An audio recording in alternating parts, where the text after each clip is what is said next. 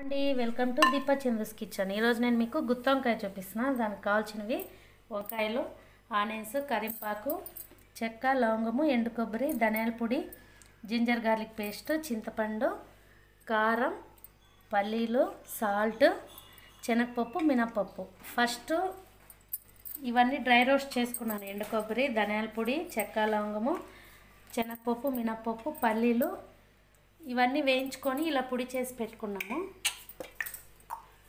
దీన్ని వంకాయలో ఇలా స్టఫ్ చేసుకున్నాము. చూడండి ఇలా స్టఫ్ చేసి పెట్టాము. ఇప్పుడు స్టవ్ ఓకే అండి ఇప్పుడు ప్యాన్ పెట్టుకొని ఆయిల్ వేసుకున్నాం ఆయిల్ వేడైంది. ఇందులో కొద్దిగా జీలకర్ర.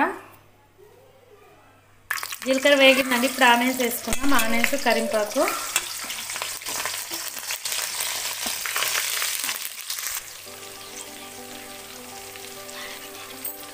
ఆనియన్స్ వేగుతున్నాయండి. ఇప్పుడు జింజర్ గార్లిక్ పేస్ట్ వేసుకున్నాం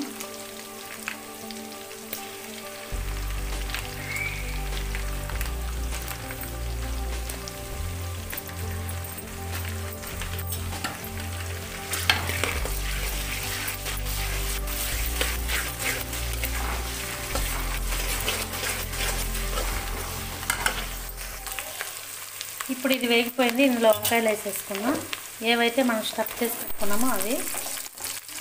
మీకు చిన్న వంకాయలు దొరికితే దాంతో చేసుకోండి మాకు దొరకలేదు. ఈ పెద్ద వంకాయలతో అంతగా టేస్ట్ రాదు. చిన్న చిన్నవి అయితే ఇంకా బాగుంటుంది.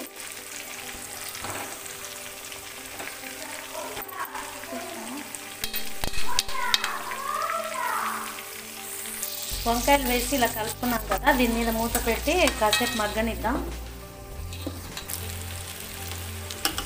చూడండి వంకాయలు కొద్దిగా మగ్గినట్టు అయింది కదా. ఇప్పుడు ఇందులో ఈ మిగిలిన పౌడర్ కూడా వేసేసుకుందాం.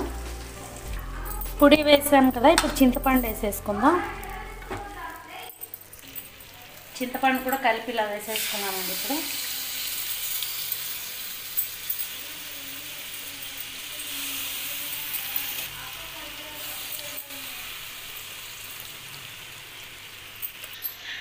కొన్ని వాటర్ వేసుకున్నామండి ఏదైతే మసాలా వేసాం కదా జారు దాంట్లో కొన్ని వాటర్ వేసుకొని వేసేసుకుందాం. కర్రీకి సరిపడా.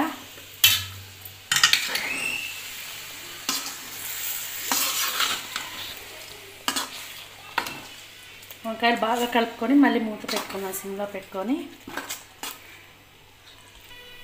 మూత పెట్టేసుకున్నాను ఇప్పుడు. బాగా ఉడు ఉడుకుతూ ఉందండి బాగా. ఇంకా కొద్దిగా ఉడకాలి. వంకాయలు కొంచెం ఇంకా ఉడికితే ఇంకా ఆఫ్ చేసేసుకుందాం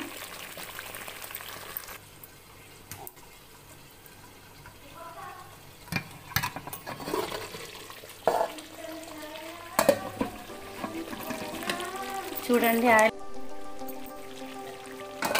చూడండి గుత్తొంకాయ రెడీ అయిపోయింది. గుత్తొంకాయ కదా కొద్దిగా ఆయిల్ ఎక్కువే పడుతుంది. ఆయిల్ ఎక్కువ వేస్తేనే టేస్ట్ వస్తుంది. వంకాయ కూడా బాగా మెత్తగా ఉడికిపోయింది చూడండి. ఇప్పుడు స్టవ్ ఆఫ్ చేసేసుకుందాం. చూడండి గుత్తి వంకాయ రెడీ అయింది. మా వీడియో కనుక మీకు నచ్చినట్లయితే ప్లీజ్ లైక్ షేర్ సబ్స్క్రైబ్ చేయండి. తప్పకుండా మీరు ట్రై చేయండి.